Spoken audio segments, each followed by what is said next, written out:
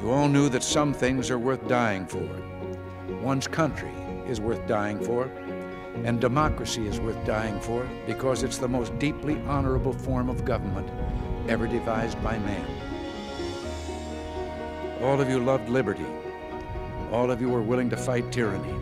And you knew the people of your countries were behind you. The Americans who fought here that morning knew word of the invasion was spreading through the darkness back home. They fought or felt in their hearts, though they couldn't know in fact, that in Georgia they were filling the churches at 4 a.m.